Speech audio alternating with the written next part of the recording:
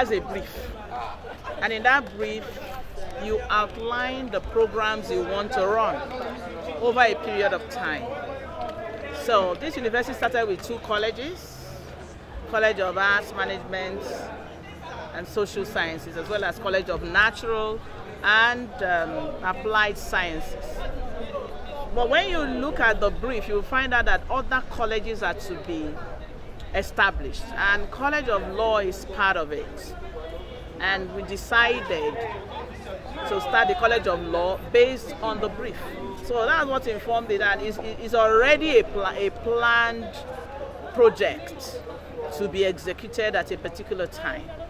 Okay? And at, I think at the fifth year of existence. So we have even started this building three years ago, long before the fifth year.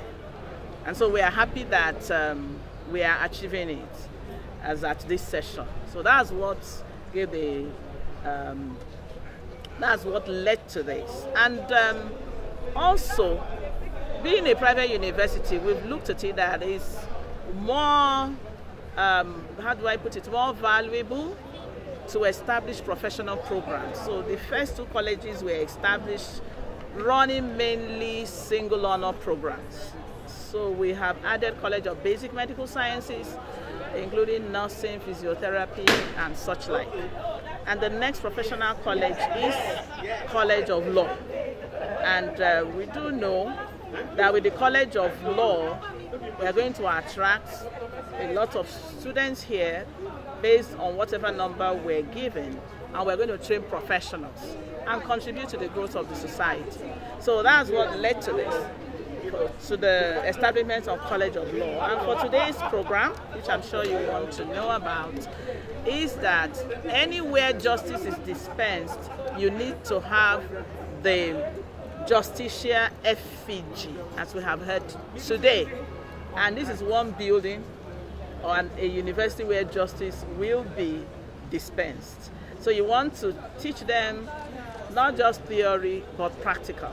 We really, really desire, based on our vision and mission, to train and graduate lawyers, okay, who are 21st century lawyers and who we go there based on our motto, which is intellectual radiance, to shine the light, to dispense justice they're going to be trained in a way that even before they go out there, they will be handling cases here. And that's why we have law clinic. We don't just have the moot court. We have the moot court and we have the law clinic where they're going to use as their practicum or practical exposures and they will handle cases. Okay, so we will teach them from here to know how to be just and fair so that when they go out there, they will dispense justice and fairness. We do know that there's a lot of injustice in the land, and I know that in this place you're going to have special, you know, uh, lecturers that are that have specialties in some of these areas where they can dispense justice, whether homicide and all those type of uh, cases.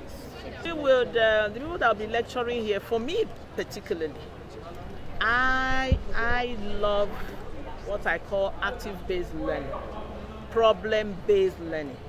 So my charge to the lecturers, to those that will manage this place, is to ensure that these students are taught life experiences.